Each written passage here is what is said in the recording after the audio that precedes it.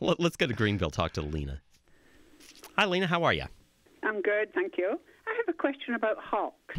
Sure. Um, All right. I am seeing one around my garden, and looking at my book, it seems to be the rough-legged hawk. Okay. It's you know, it's got the yellow eye and the the yellow on its beak and the speckle white. Um, but when I look at the map, it doesn't seem to be around this area. Can it be that same hawk I'm seeing? There's a outside chance, uh, but I suspect that what you're seeing is one of the one of the molted color forms of of uh, a red tail hawk. Yeah. Um, Okay. They're highly But variable. its eye is definitely yellow. I mean, I can see the yellow ring, you know, through my binoculars. Now, you know, one of the things that you would look for, and when you look at the, the breast of the hawk, you look at its chest, red tails, especially in the east, tend to have, most tend to have this, what we call a belly band. And so you, you'll see, you may see other streaks on the chest, but most of them kind of concentrated into this, into this belt. So, you know, you want to take a look at that. Um, uh, really rough legged This, hawk. this this one is very, you know, very whitish. It's not like the, you know, like the red. What's the behavior of the bird um, in your yard? Well, he just sits around. It has a favourite branch it comes to, and it just sits there and looks around. And I do have feeders, and you know, a lot of birds obviously attracted to the feeders and the fat. Yeah. And uh, in fact, two days ago, it was sitting on a branch, and it was there for oh golly, about four minutes at least. And another hawk fly, flies in and lands on the branch beside it. well, this what- was a, lot, a bit smaller, but the same type of markings. And then my hus- I called on my husband, and we looked out the window. And then the, the one that landed on the branch just mounted on top of the other one. Is this too soon for them to be actually Oh no. breeding? no. No. No. this is hawk There- This is when season. I wished I had a fabulous camera. There's 'cause it was an love. There's love. fantastic. Yeah. yeah. Yeah. And so um, let me ask you one other another follow up question here is are these birds uh, hanging out on branches that are near an open area or are they just in your uh, Yeah, sort of wooded, kind of wooded open. yard? Yeah, yeah, yeah. My neighbours, who's on the o- the other side, you know, she has quite a big stretch of land, and it is fairly open. Yeah.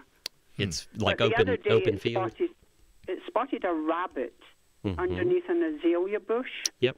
I mean, and it went crazy. It flew round in a circle and down on the ground, and you know, obviously was trying to get this rabbit, but the rabbit wasn't crazy enough to come out. Uh huh.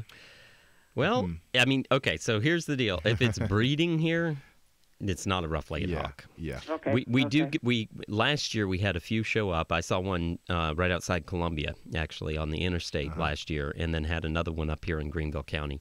But um, you So know, it's just a, juven- a juvenile, you think? or a light color face. Yeah. Okay. Yeah, yeah. I'm I'm thinking red tail, um, just because that's the most likely answer. But Yeah. um, you know, it, it, it depends on the size. Red shoulder hawk is another good uh, guess, but you want to listen for the for the noise because if it's a red shouldered hawk, you'll you'll hear the call, and the call's real distinctive.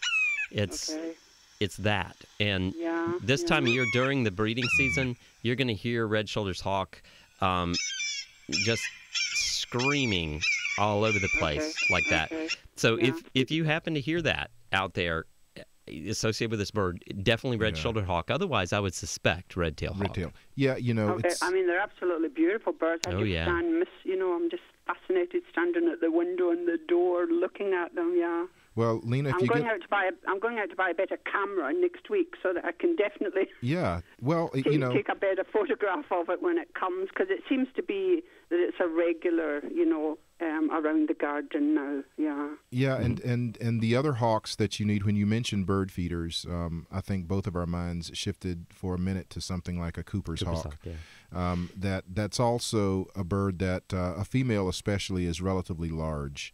Um, and they're very active hawks, and they sit and they watch and they wait, and then they pursue.